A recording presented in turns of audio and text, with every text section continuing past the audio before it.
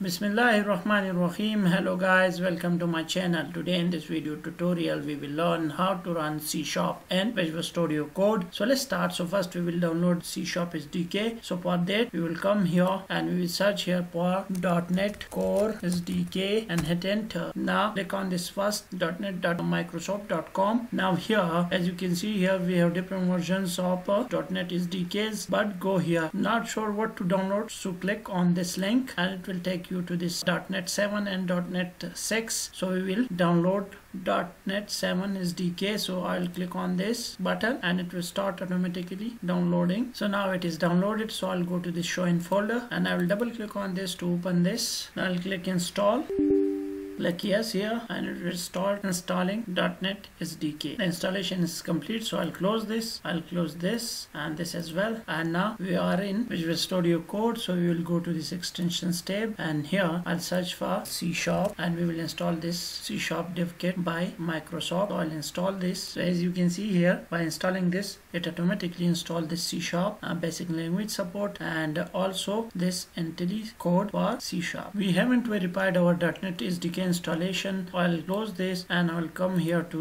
cmd hit enter and now I'll search here a dot net hyphen hyphen version and hit enter. It has shown us the version of our. dot .NET SDK so it means our installation is successful. So I'll close this and again open Visual Studio Code. It is still installing. So now it is installed. So I'll close this and I will close this extensions tab I will minimize this and we will go here and create a new folder on desktop. I'll name this uh, dot .NET. And now we will go to our Visual Studio Code. Uh, I'll click here and open folder. We'll go to desktop and I will select this .NET folder and select folder. So now we will create a new uh, .NET project. So for that I will click on this uh, settings command. And here we will click on new project. And now it will show me all the .NET project types. So we will create a console app. I'll rename this to first console app. And now hit enter and default directory. So now the project is created. So you can see this is a first console app.proj cs project which means c sharp project. And this is the solution. And this is the program.cs file. And you can see this hello world in this program.cs file. Now if i run this so now you can see here that hello world is printed in the debug console. Now if i